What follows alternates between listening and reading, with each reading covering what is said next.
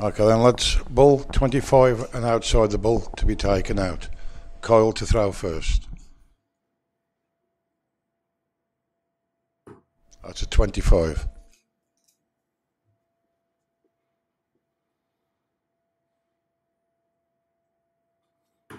That's outside, Kyle wins the bull.